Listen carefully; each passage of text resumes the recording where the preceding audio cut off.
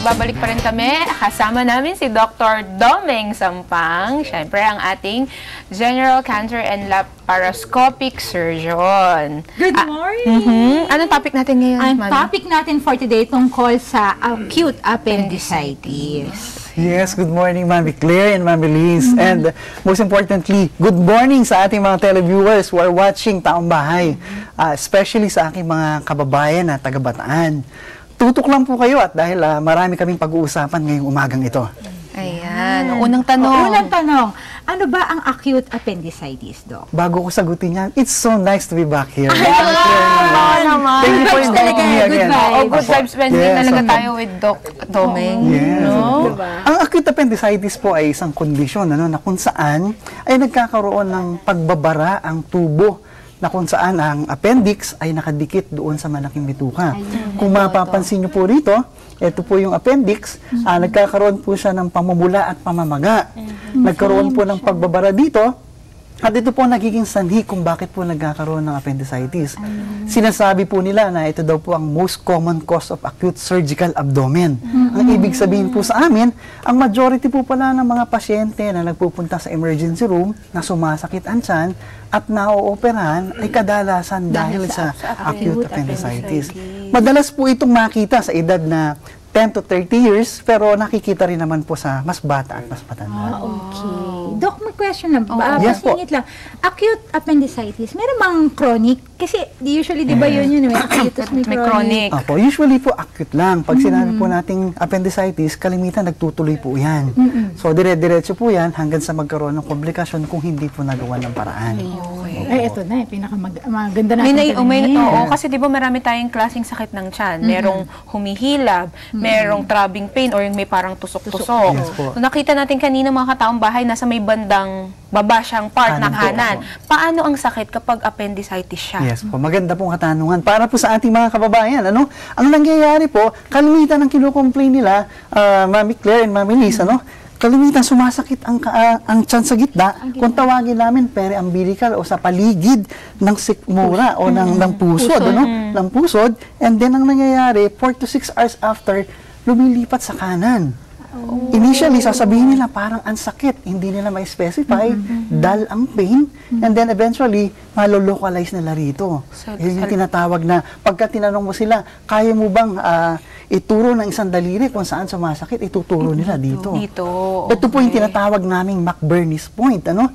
Para sa kaalaman ng ating mga televiewers, kung tayo po ay gagawa ng ah, isang linya magmula po rito sa pusod at dito po sa buto, sa kanang bahagi ng ating hip, pag hinati raw po natin sa tatlo yan, yung pong lower one-third, iyan daw po yung pangkaraniwang posisyon ng appendix.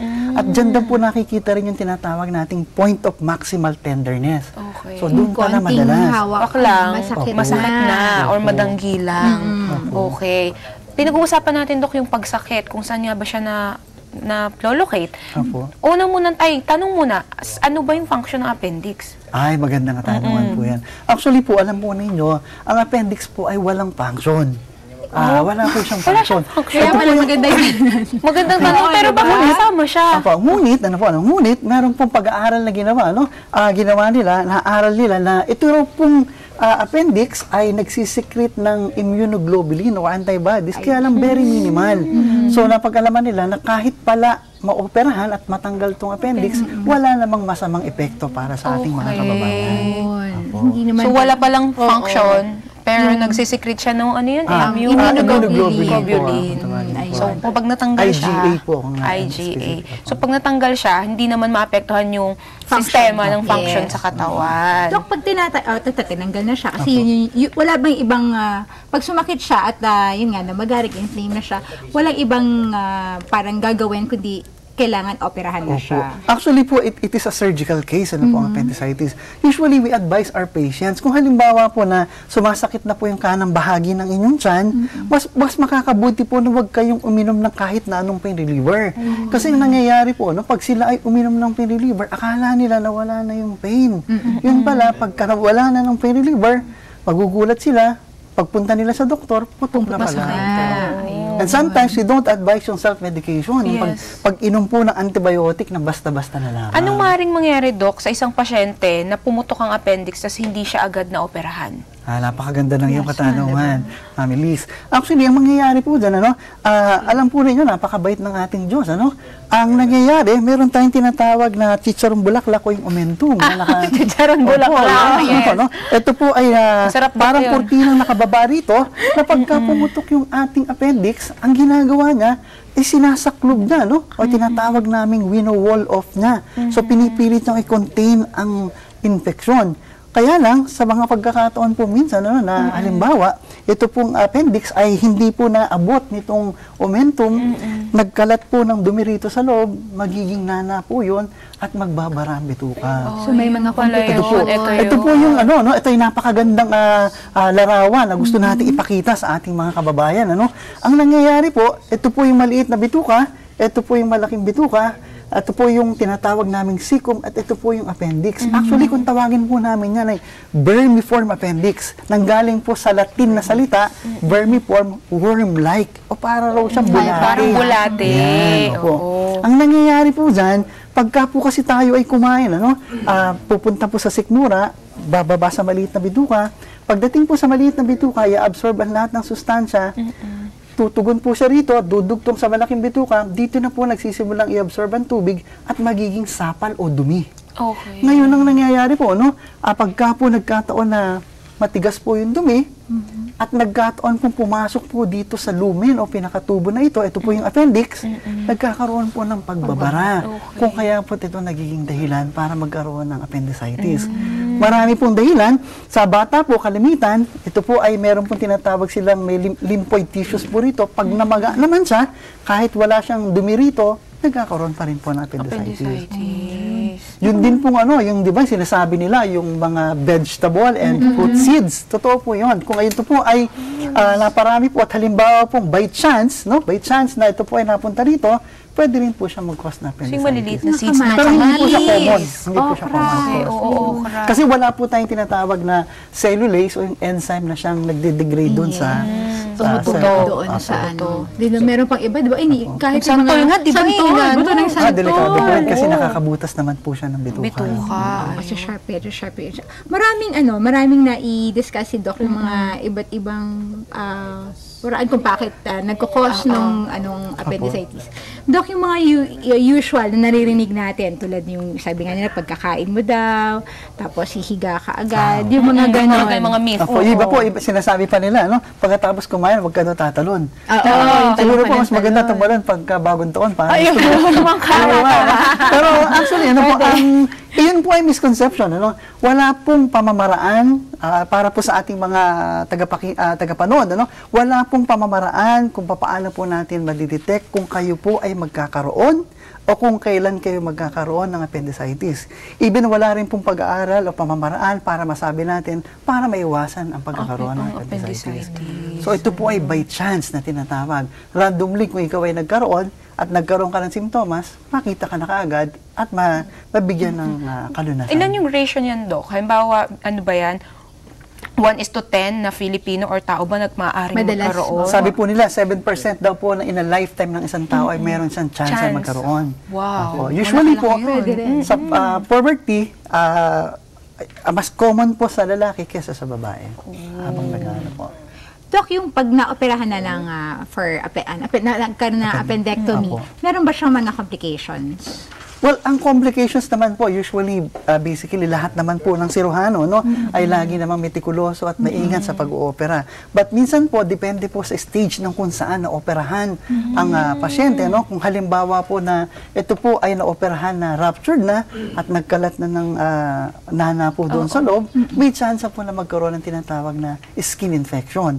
Kasi po kahit anong linis natin, kung ito po ay dumapo yung pinaka nana sa loob, minsan po may chance po magkaroon ng But those are just minor things. Opo. Question, Doc. Ito bang appendicitis, ano ba siya? Fatal? Or Yes, nakamamatay. opo, nakakamatay po yan. Kaya nga po sinasabi, pagka po mayroong appendicitis, dapat po early treatment and surgical intervention right away.